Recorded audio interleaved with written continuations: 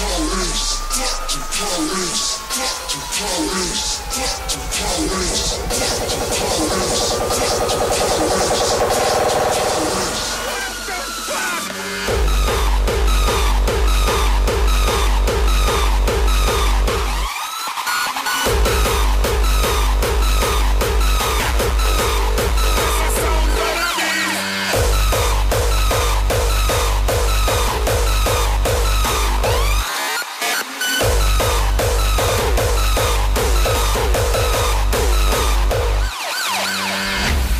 dealing with the enemy.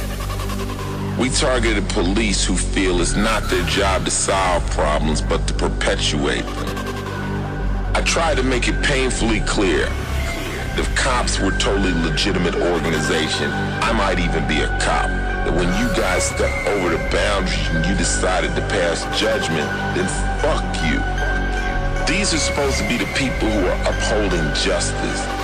I'm gonna tell you how I feel about you. No bull, no lies, no slacks, just straight fact. Fuck police. You get raw anger. Let me put you in touch with that anger.